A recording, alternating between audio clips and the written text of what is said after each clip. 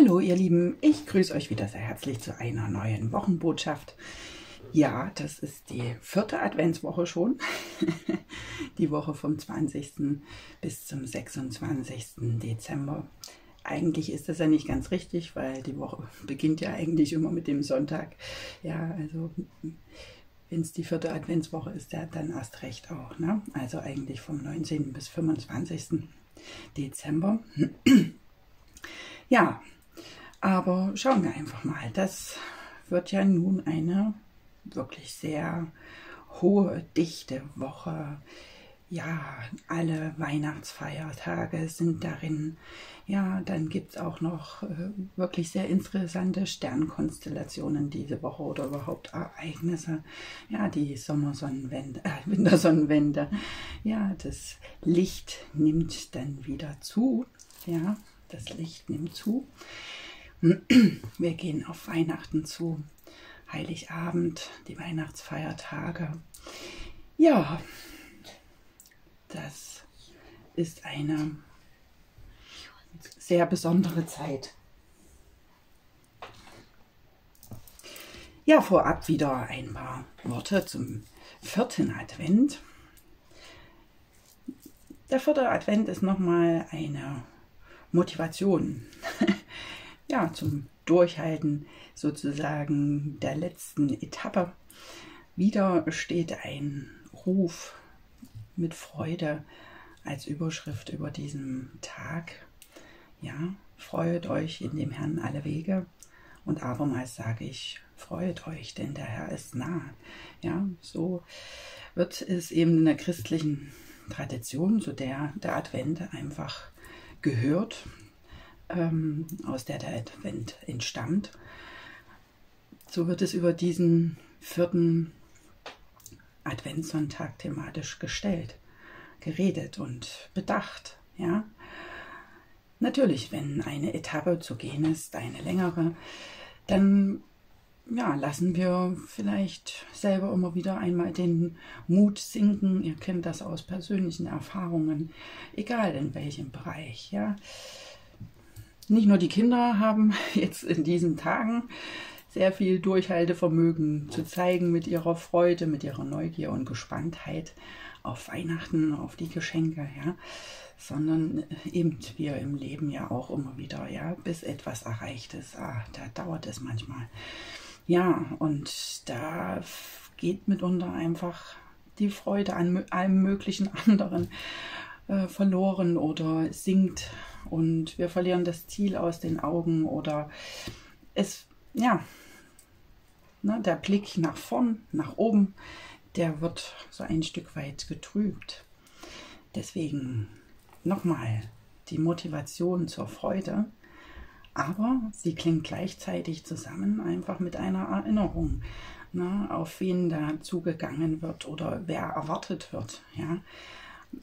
In der christlichen Tradition heißt es eben der Herr, der Heiland, ja, und da klingt auch schon mit an, was da erwartet wird, ja, ne? eine heilvolle Wende, ein, ja, das das ankommt, was wohltut oder dass wir dort ankommen, äh, wo wir Wohlergehen erfahren, ja, wo alles in Balance ist, einfach auch äh, alles an seinem richtigen Fleck, äh, in friedlichem und ja, harmonischen Miteinander, dass wir in uns selbst in Balance sind. Ja, das heißt es einfach mal auf uns Menschen gedeutet, ja. Aber ne, es wird ebenso auch aufmerksam darauf gemacht.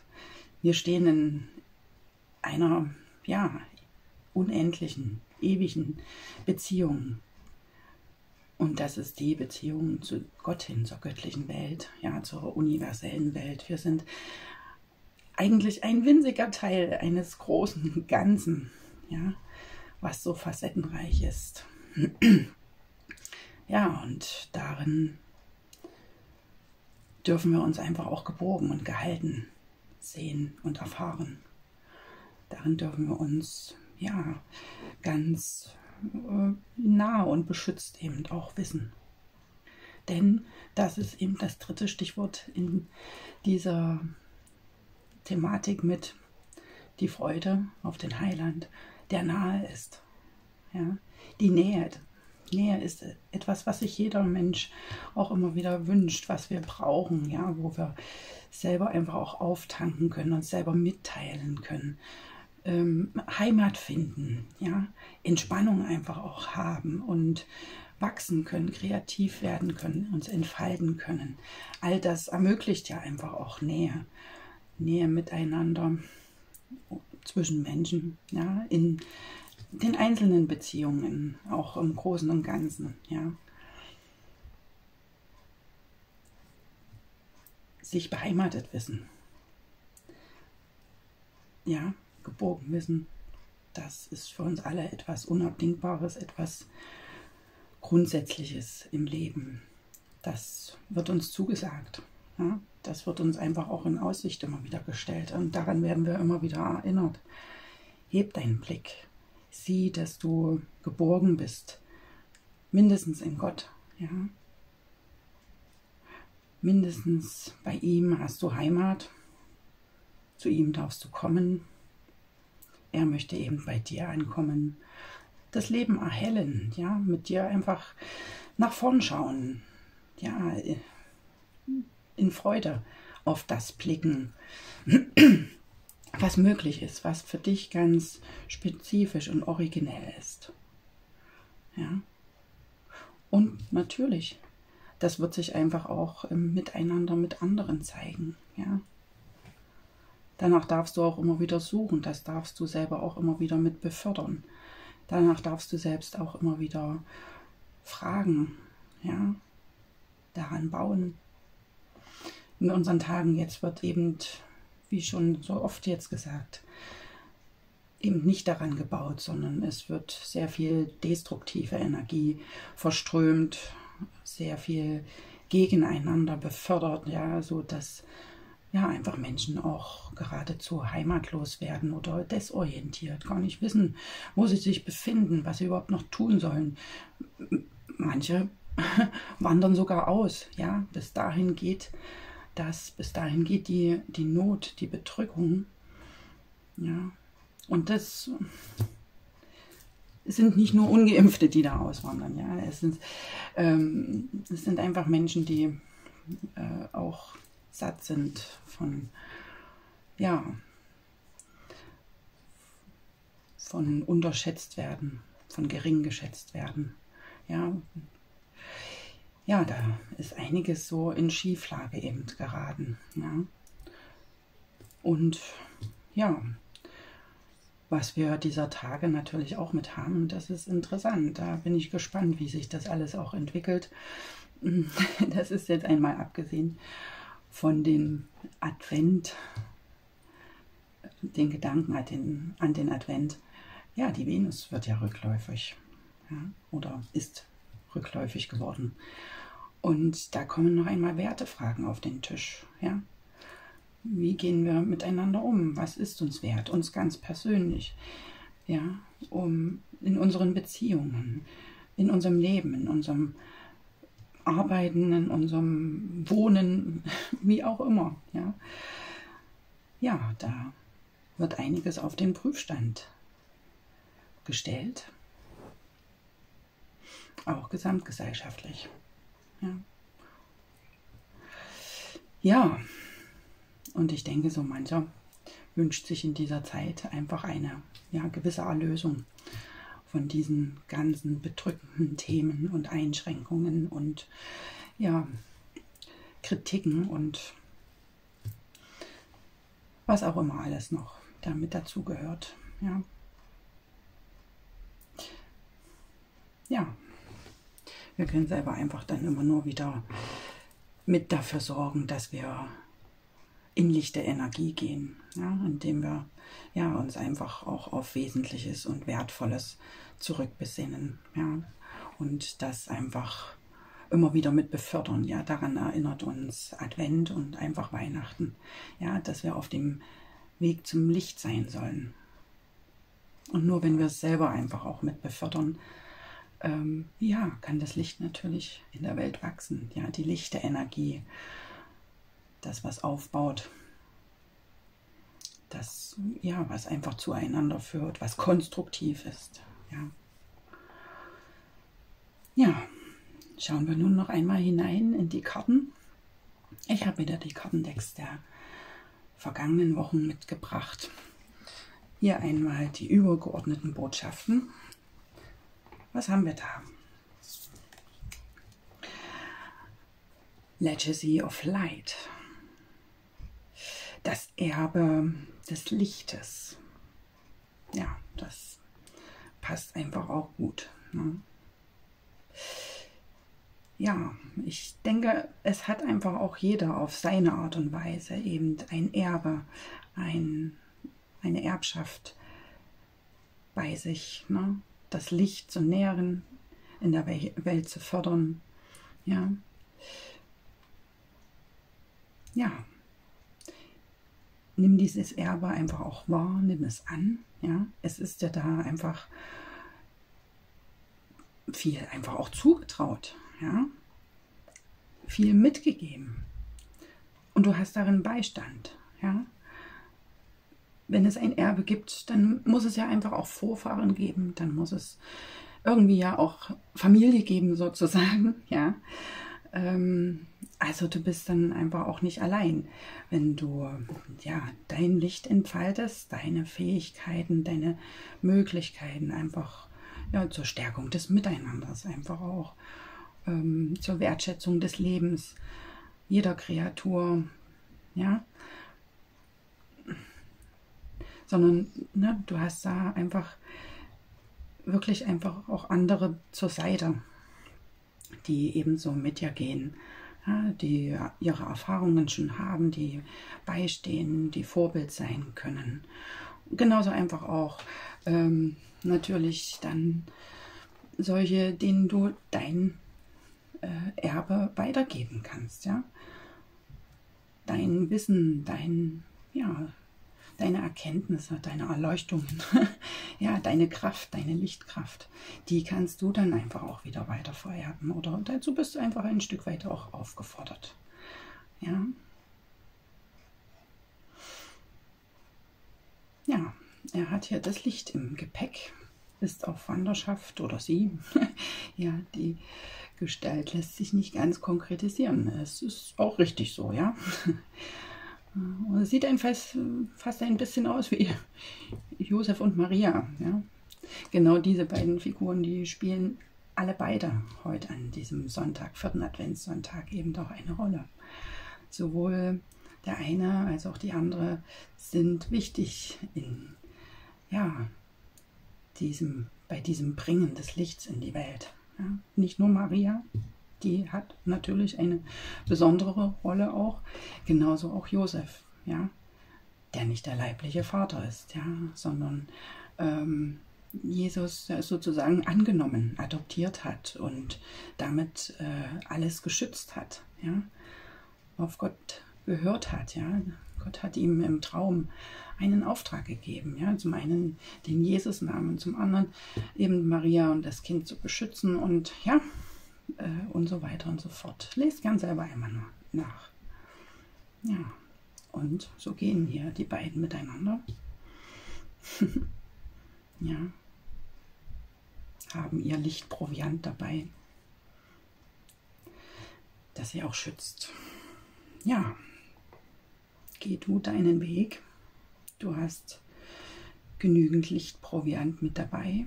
Ja, Du bekommst es vererbt, du darfst es genauso auch weitergeben. Ne? Ja, und dann haben wir hier aus dem Lightworker Oracle, ja, ganz passend dazu, eine Botschaft noch. Ja, Paradigmenwechsel, das ist auch interessant, ne? Ja, Paradigmenwechsel. Ne? Eben gerade jetzt auch mit der rückläufigen Venus, die ja Wertefragen nochmal auf den Tisch bringt. Ja.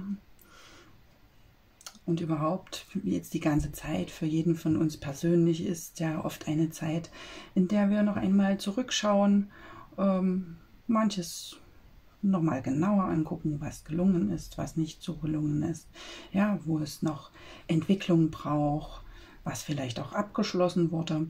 Ja, hier gibt es einen Paradigmenwechsel, ja, einen Paradigmensprung, ja. Ja, vielleicht passiert da für dich einfach ein großer Anschub in dieser Woche auch in einer bestimmten Sache, vielleicht in einer Beziehung, einer Liebesbeziehung oder in der Familie. Ja, ähm, ja, gerade durch das Zusammenkommen, das Miteinander. Vielleicht auch im Beruf, äh, ja, in deinen persönlichen Planungen, Projekten. Ja. Ein lichtvoller Sprung, ja. Hier will die Tür aufgehen, das Licht einfach auch eindringen. Ähm, ja. Alles hell machen, erstrahlen. Ja. Wunderbar. Ja, was haben wir noch aus dem Stille heilt? Fortschritt. Ja, und genau, das knüpft ja eigentlich auch gut an.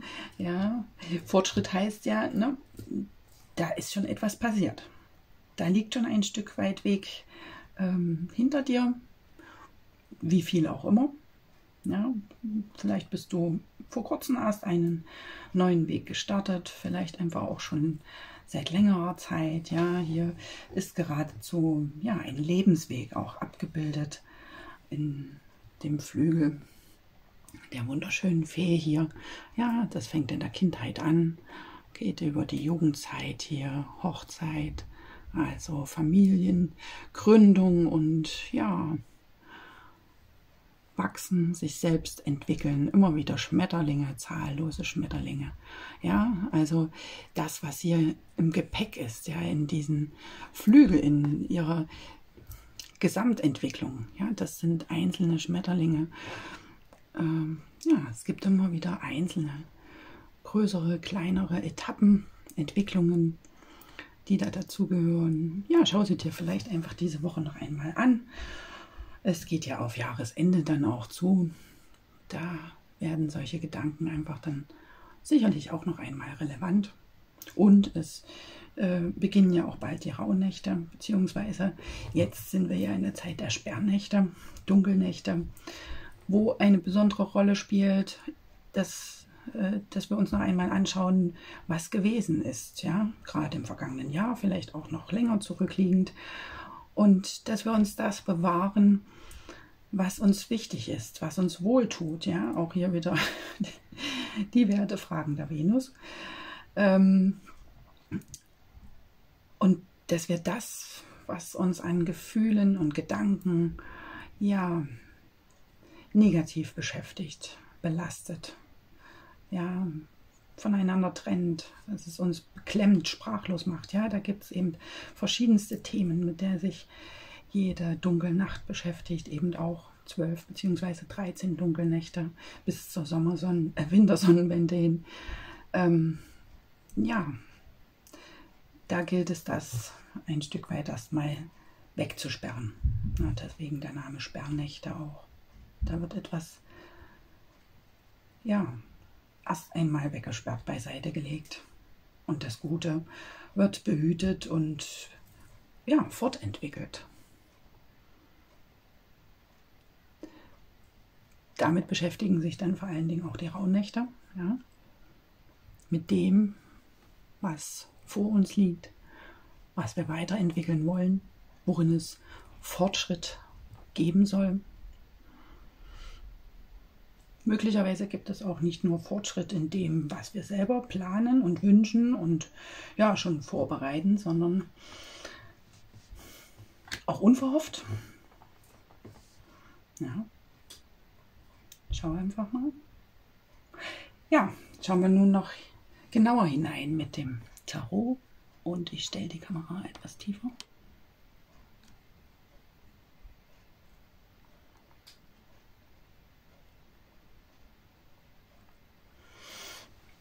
So, ich habe wieder den Golden Art Nouveau Tarot mit dabei. Und wir bitten, müssen noch einmal zusammen durch. Gebt eure Energie hinein. Und dann bitten wir um eine erste Energie oder die des Montags.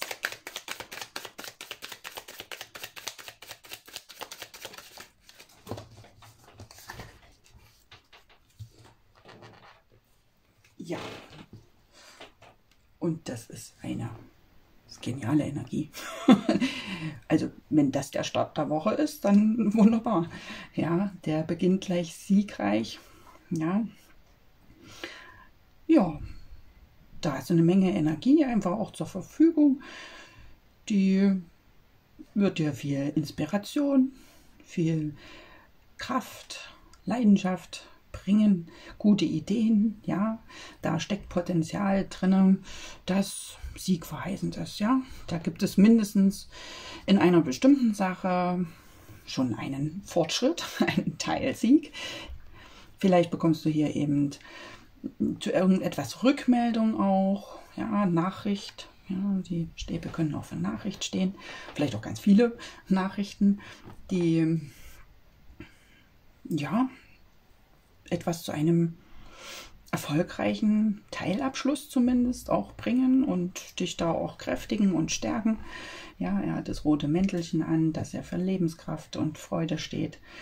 Und hier sein treuer Gefährte, das Pferd, das ihn trägt, ja, da einfach auch gut durch ja, die Kämpfe und Auseinandersetzungen sozusagen bringt, gebracht hat, mit dem grünen Umhang, der für Herzenskraft steht. Ja, da kommst du zu einem guten Ergebnis. Vielleicht gibt es hier eben auch eine bestimmte Begegnung oder ein bestimmtes Ereignis, vielleicht ein Projektabschluss auch oder einen entsprechenden wichtigen Schritt in deiner Beziehung, in deinen persönlichen Projekten, ja, im beruflichen, in der Familie. Ja, na wunderbar. das nehmen wir doch so. Aber wie gesagt, die Energien sind ja auch äh, fließend, ja, und das kann für jeden von euch auch unterschiedlich zutage treten. Das muss nicht in der Reihenfolge sein, wie es jetzt hier kommt. Es muss auch keine durchgehende Geschichte irgendwie sein, ne? Ihr wisst. Ja, schaut da einfach auf eure persönliche Situation. Aber ihr werdet es ja äh, sicherlich dann einfach auch erkennen und spüren. Eine siegreiche Energie ist, glaube ich, sehr spürbar. Ja, welche zweite Energie oder dieses Dienstag wird es dann geben? Welche zweite Energie?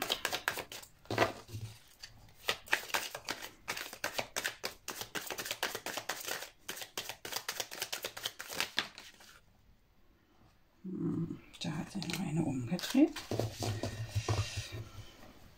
Ja, zum einen haben wir hier den Turm. Hm. Ja, da passiert etwas einfach auch sehr Umbruch mäßig, plötzlich, ja. Hm. Vielleicht startet hier auch dein Urlaub. Das kann sein, ja, dass plötzlich eben alle Last auch von dir fällt, ähm, weggenommen wird sozusagen und du in deinen Urlaub starten kannst. Ähm, naja, ne, es kann genauso auch ja, eine persönliche Erkenntnis sein, die hier äh, zutage tritt. Ja, wir haben ja hier das Kronenchakra mit einbezogen, äh, das erleuchtet wird sozusagen. Ja, da wird aber eben etwas weggesprengt, ja, das, was nicht gut tut, was nicht lebenswert ist, was nicht beheimatet und beherbergt, äh, ein Zustand, ja, ein Verhältnis, eine Gewohnheit, ja, etwas Unmäßiges, ja, der, dem Turm geht ja der Teufel voraus, ja, das, die Unmäßigkeit, die ähm, Abhängigkeit, Begrenztheit, ja, das wird einfach, da wird etwas weggesprengt. Ja. Eben durch eine bestimmte Erkenntnis, vielleicht auch durch bestimmte Nachrichten, Ereignisse, die passieren. Das kann auch im großen Stil sein, ja, also gesellschaftlich vielleicht, dass da etwas noch passiert, was wie der Blitz einschlägt sozusagen und ja für uns alle große Veränderungen vielleicht bringt. Ja, muss aber nicht, ja. Ich sage es nur einfach mit dazu, welche Möglichkeiten es gibt. ja, jedenfalls wird ja sehr radikal auch eine Situation umgewälzt, beendet. Möglicherweise hast du da selber auch mit dran Anteil, dass du etwas ja, ein für alle Mal dann äh, auch beendest, zurücklässt. Ja, weil du hier in etwas anderem siegreich gewesen bist und hier dann klaren Cut machst sozusagen mit dem Turm. Ja, ja der nachfolgende Stern, äh, der nachfolgende Karte ist der Stern, die Heilung, Wunscherfüllung, ja, göttliche Führung. Schau mal, hier ist noch eine zweite Karte gefallen. Gibt es da etwas zu feiern? Vielleicht, ja. Vielleicht ist das wirklich ein, ein großes Ereignis auch, was hier für dich passiert, ja, wo du feiern kannst, wo du froh und dankbar sein kannst mit anderen zusammen. Ja, die sehen ja wirklich einfach fröhlich und ja, irgendwie auch erlöst aus, ja, beschwingt. Hm. Sind froh, dass sie sich begegnen dass sie sich da einfach ein Stück weit auch wieder haben, zusammenkommen können. Blicken miteinander äh, dankbar auch auf das, was gewesen ist, zurück. Ja, vielleicht hast du hier einfach auch eine schöne Zusammenkunft eben mit anderen, ein Treffen in der Familie, mit Freundinnen und Freunden. Hm. Der wollte sich nach oben legen. Jetzt habe ich unbewusst so hingelegt, der Hierophant. Ja. Die göttliche Führung, der Segen, der Schutz, wunderbar. Ja, welche dritte Energie oder die des Mittwochs steht zur Verfügung?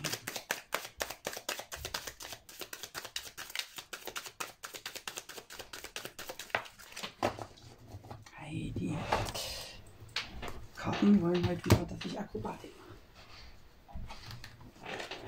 mache. beweg dich mal ein bisschen mehr. Mache ich doch glatt. Wieder eine Sechserkarte. Ja, die Sechs der Münzen. Hier kommt etwas in Balance, in Ausgewogenheit. Ja, da ja, kommst du selbst womöglich in Ausgewogenheit oder auch eben in eine gute Balance mit anderen gemeinsam. Ja, vielleicht bekommst du hier auch eben finanzielle Unterstützung, äh, Zufluss, ja. Hm, vielleicht könnte es etwas mehr ausfallen, als da gegeben wird, ja, als da zufließt. Ja. ja, vielleicht wirkst du hier auch mit anderen gut zusammen, ja. Und ihr ja, gebt eure Talente, eure Fähigkeiten an eine Sache ran. Ja, ich hatte es ja das letzte Mal mit dem Plätzchenbacken bei den Münzen, ja. Vielleicht ist hier auch Plätzchenbacktag, ganz profan gesehen. Das kann natürlich auch sein, ja. Ja, ansonsten ist hier eine Balance zu sehen. Ja. Ein Geben und Nehmen ist in Balance. Ja.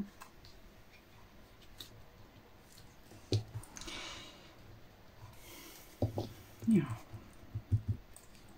Jedenfalls macht sich hier schon etwas, ja, auch materiell oder, oder greifbar, sehr bemerkbar, ja, in deiner Ausgewogenheit, vielleicht in deinen Entscheidungen, ja die du getroffen hast, deinen Entwicklungen, die du gegangen bist.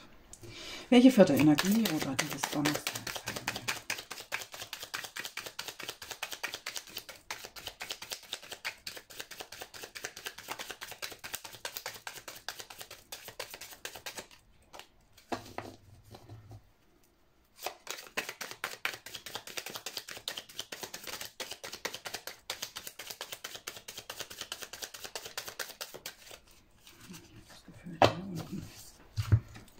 Unten klebt meine Hand. Die Liebenden. Eine Herzensentscheidung. Ja? Eine, ja, Entscheidung, die von Herzen kommt. Ein Weg, der von Herzen gegangen wird. ähm, ja, ob nun zwischen Menschen oder mit einem bestimmten Herzensprojekt, Herzensanliegen. Ja, wenn es die Energie des Donnerstags ist, dann ist das der Tag vor Heiligabend. Ja. Vielleicht bringst du dich hier in eine bestimmte Sache noch einmal sehr bewusst und von ganzem Herzen ein. Ja.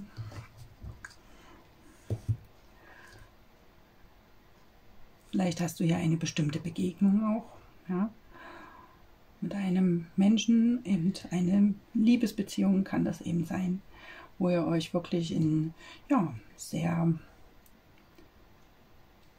eigenständiger, beherzter und freier Art und Weise begegnet. Es kann auch nackt sein, ja, natürlich, ne?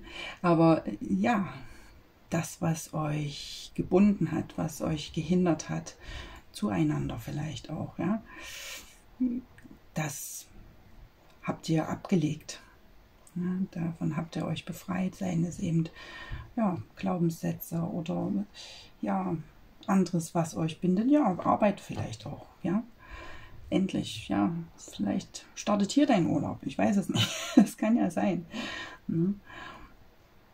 Ja, hier ist jedenfalls eine ja, sehr lebendige Energie, eine beherzte.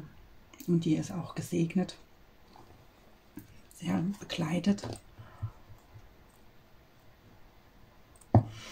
Ja, vielleicht triffst du hier ein, an dem Tag eine bestimmte Entscheidung eben auch, ja, die sich hier herauskristallisiert hat in den vergangenen Tagen. Da hast du vielleicht schon etwas wirklich erfolgreich vorbereitet und ja, manches hinter dir gelassen und hier noch einmal ein paar Sachen angegangen, ja, und hier ist dann wirklich, ja, Stichtag sozusagen, um eine konkrete Entscheidung zu treffen.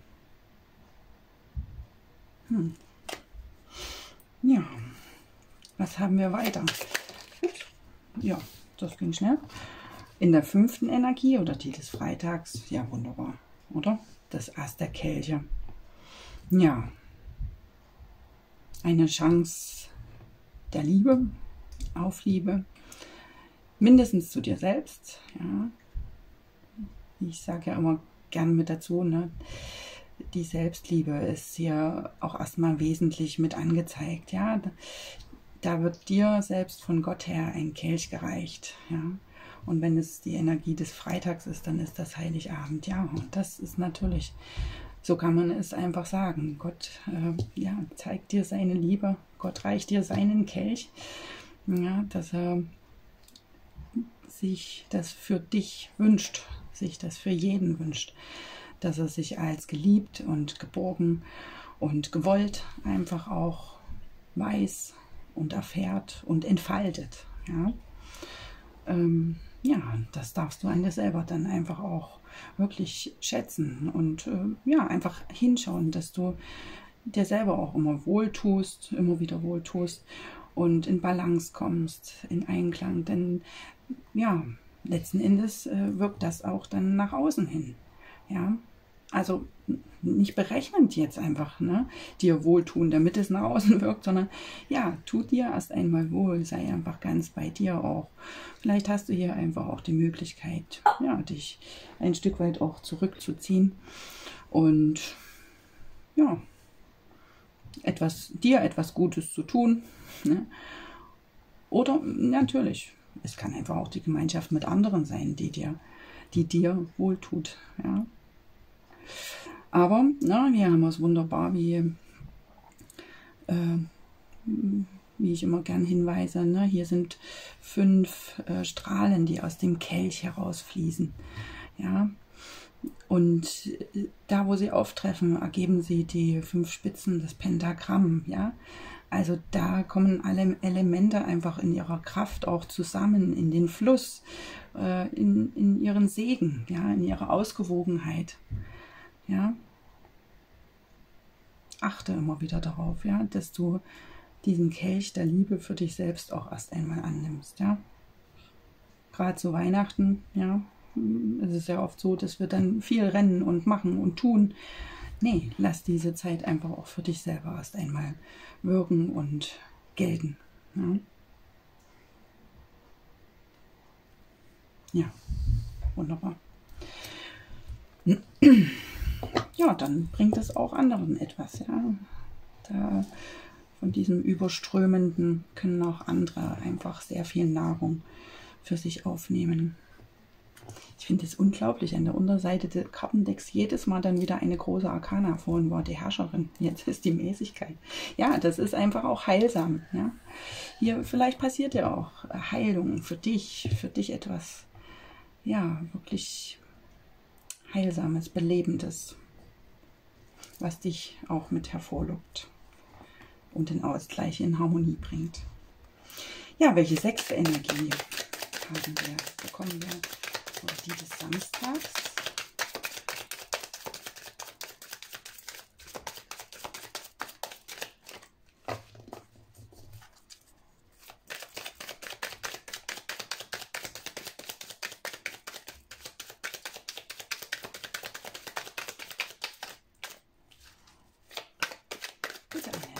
Energie. Ja, da ist er auch schon. Und da ist er auch schon. Ja, die Königin der Münzen. Die weiß um ihren Selbstwert, denke ich, gut Bescheid. Wer, wenn nicht sie? Ne? Ja, der König der Münzen natürlich auch. Ähm, na, aber sie, sie schaut einfach erstmal auch auf das, was ihr wohltut, wer sie ist. Ja, darüber weiß sie gut Bescheid. Und genauso hat sie aber eben, ja, auch Interesse und, ja, Potenzial, Ressourcen, ja, sich um das andere mitzukümmern, ja, und die anderen gut mit zu versorgen. Ja, es ist eine mütterliche Energie. Vielleicht, ja, begegnest du hier auch einer mütterlichen Person, einer Mutter, Schwiegermutter, Großmutter, ja, aber eben äh, es kann eine Person mit dieser Energie einfach auch eine wichtige Rolle an dem Tag spielen für dich. Falls es der Samstag ist, dann ist es der erste Weihnachtsfeiertag. Ja, ja, ansonsten, wenn das deine Energie ist, ja, dann bist du einfach gut in deinem Selbstwert, sehr stabil und einfach auch verlässlich und froh und attraktiv, ja, und ja, in dem, was du tust, einfach auch wirklich geschickt, fruchtbar, ja, ähm, lebendig, ja, mit großer Herzenskraft und Lebenskraft, Lebensfreude. Ja. Du schaust auf das, was um dich ist und wirst es gut hegen und pflegen. Ja? Auch dich selbst. Ja? Wieder der Hierophant an der Unterseite. Unglaublich. Ja, welche siebente Energie oder die des Sonntags bekommen werden.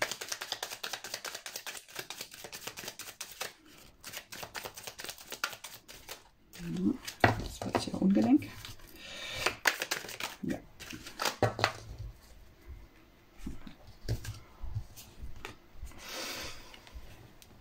Und hier haben wir wieder eine Sechser-Energie. Die Sechs der Schwerter. Ja, da machst du dich auf zu neuen Ufern in ruhigere Gewässer. Ganz profan gedeutet heißt, kann das heißen, wenn das die Energie des Sonntags ist. Du fährst nach Hause und du hast jetzt einfach nur Zeit für dich und deine Familie kannst ganz bei dir sein. Vielleicht ist ja Feiertagsstress dann einfach auch sozusagen erlebt, erledigt. ja. Aber ja, so grundsätzlich, wenn es für deine Energie steht, kannst du hier einfach auch äh, in ruhigere Energie kommen. Ja.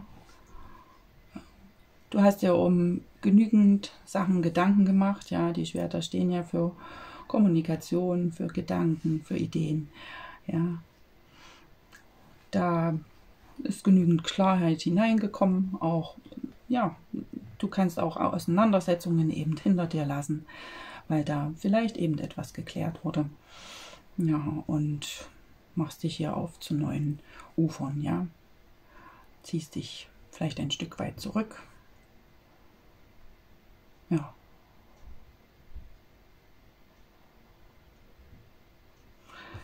Ja. Was haben wir noch an der Unterseite des Kartendecks? Hier ist jetzt mal keine große Arkana, aber auch eine sehr schöne Energie. Der Ritter der Kelche. Ja, ein liebevolles Ereignis. Grundsätzlich kann das für Weihnachten stehen, wenn es für deine Energie steht, die sich hier so die ganze Woche eben äh, grundlegend mit durchzieht dann bist du da in einer sehr liebevollen Stimmung, kannst vielleicht so einfach auch auf andere zugehen oder jemand anderes kommt auf dich so zu, ja äh, ja, freundlich, herzlich. Ja, zeigt einfach auch seine Gefühle, ja, hat ein offenes Visier und ja, bringt da seine Liebesbotschaften. Vielleicht wirst du auch noch einiges an Weihnachtsbotschaften verschicken, wie auch immer, ja, so etwas kann es ganz konkret sein. Vielleicht ja, triffst du auch auf bestimmte Menschen eben gerade dann so an Weihnachten. Ja, wo es ein herzliches, liebevolles Miteinander sein kann. Wenn du mit niemandem zusammenkommst, ja, auch dann freue dich. Sei stolz einfach auf deinen Kelch, den du hast, ja, den du einfach auch zu präsentieren und zu bringen hast.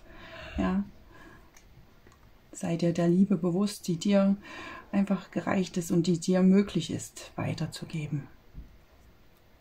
Dir selbst zu geben, weiterzugeben. Ja. Geh damit. Ja. Wunderbar. Legen wir die hier oben mit hin. Seht ihr noch alles? Ja. Ja, welches Krafttier steht dir denn zur Seite? Kann vielleicht ein Vorbild sein, mit dir gehen. Welches Krafttier?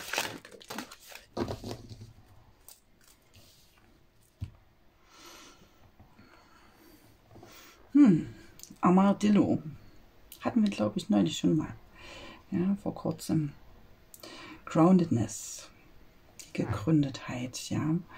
Ja, die Verwurzelung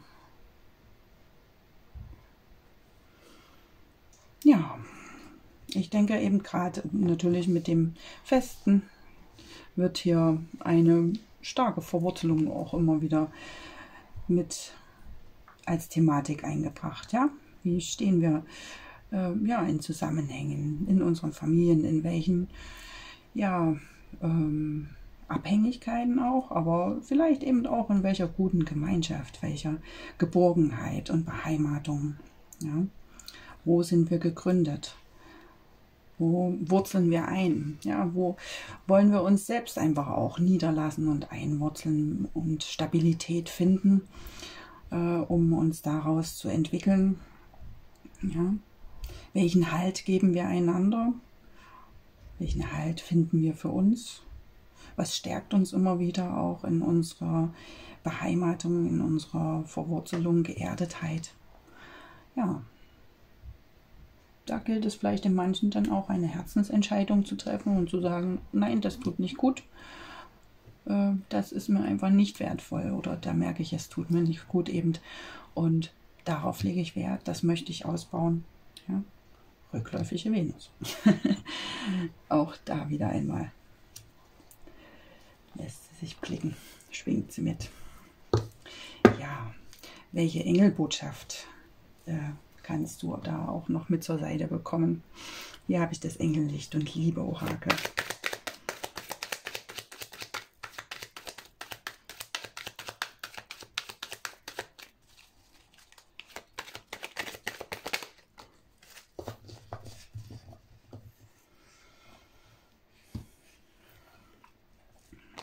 Hier haben wir Leichtigkeit. Über einer Sommerwiese zwei Schmetterlinge im Tanz, im Sein. Die Sommerwiese, die ist jetzt gerade nicht ganz so naheliegend, ja, aber ja, vom Empfinden her, natürlich dieses Bild. Zwei, die sich entwickelt haben, ja, die sich transformiert haben, kommen miteinander. Ja, in Austausch, in Kommunikation, in tanzende Kommunikation, ja. Der Tanz ist ja immer etwas sehr, sehr viel von innerem Empfinden, von Leidenschaft, ja, vom Persönlichkeit und Wesen des anderen zeigt, wo wir uns selbst zeigen können, gar nicht verstellen können, ja, wenn wir uns wirklich hineinbegeben in den Fluss des Tanzes, ja, da zeigen wir unser Sein. Komm gern in Leichtigkeit in dieser Zeit jetzt durch diese Energien. Ja, lass dir auch Leichtigkeit zufließen, lass dir die Leichtigkeit der anderen auch wohltun. Ja, lass dich mit Leichtigkeit beschenken von Gott, von der göttlichen Welt her. Das ja, bringt dich vielleicht auch in eine wichtige Transformation oder bringt einen wichtigen Fortschritt. Auch hier haben wir die Schmetterlinge wieder mit dabei. ja, dann eine sehr gesegnete Zeit. Alles Liebe und bis ganz bald. Ja, ich denke, ich melde mich im Laufe der Woche noch einmal, vielleicht mit einem anderen Orakel, einer anderen Thematik. Schauen wir mal. Ähm, ja, ansonsten einfach gesegnete Weihnachtsfeiertage auch. Gute Vorbereitungen noch bis dahin. Ja, viel Geborgenheit. Zumindest erst einmal auch. Ja, vielleicht auch guten Rückzug, ja, wohltuenden Rückzug für dich selbst, ja, um deiner selbst willen auch, um ja diese Wunder, dieses wundervolle Geschenk dieser Zeit auch schön in dich aufnehmen zu können. Ja, ich freue mich, wenn wir uns bald wieder hören. Lasst mir gern auch euer Like und euer Kommentar da. Teilt das Video. Ich freue mich auch, wenn ihr den Kanal abonniert. Ja, dann finden wir uns leichter wieder und das kann vielleicht einfach auch anderen helfen, ja, zu ihren Botschaften zu finden, die sie weiter unterstützen, Klärung vielleicht bringen, gut begleiten. Ja, alles Liebe, bis ganz bald. Eure Tara von Taro Rainbow.